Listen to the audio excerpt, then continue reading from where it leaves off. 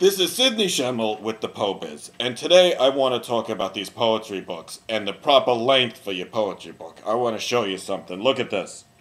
This is all these poetry books. It's not exactly War and Peace. They're really short. You know why they're really short? No one wants to read this crap.